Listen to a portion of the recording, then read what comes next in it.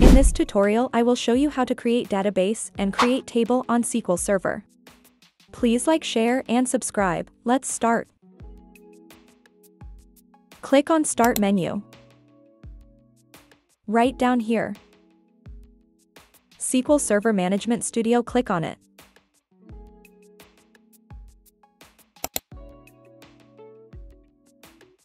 So this will open the SQL Server Management window and need to connect the server local host. Click on Connect. Left side under Object Explorer see Databases. So here System Database and Database Snapshots now no databases create here. Right now I don't have any database here. So go to top. And click on New Query so this will open this one. We need to first create database. Database syntax. Create database database name.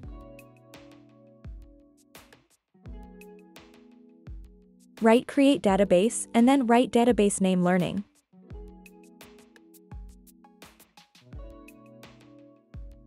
End of this query put semicolon.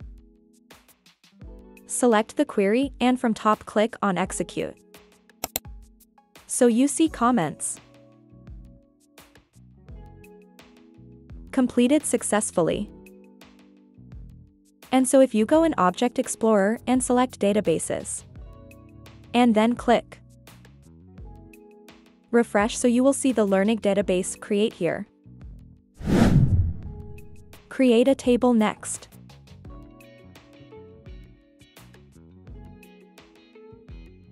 Before that, we need to write which database we need to use. Syntax for using database. Use database underscore name. Learning. Select and execute. Successful, so it's fine. Syntax for create table. Create table table underscore name. Column 1 data type, size. Column 2 data type, size, dot. Create table employees. A table's structure comprises with column names, data types, and constraints like not null, primary key. Then add column names with data type. Enter and put tab will write the column's name.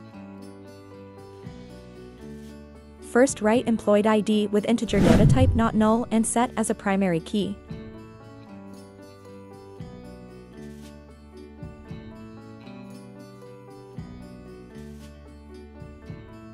Comma and then add second column name. First. Name. varchar. 30. Not null means no empty values for name and then comma.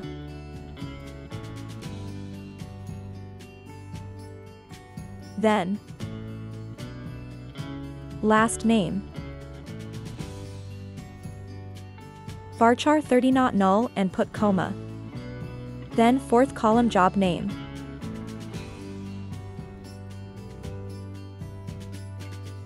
Write varchar 30 not null comma.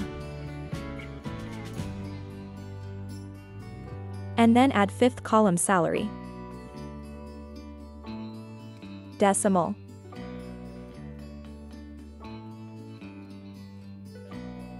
Not null.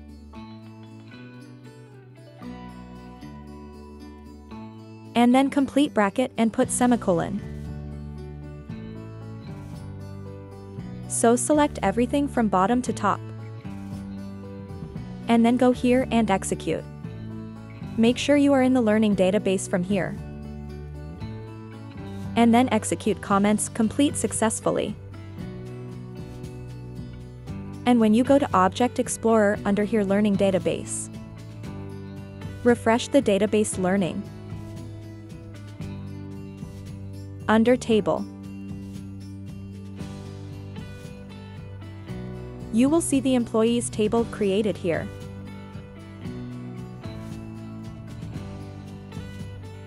So all the column names are created here.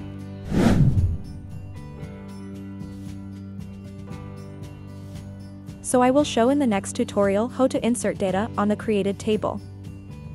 If you like this video content, please like share and subscribe to my channel. Thanks for watching.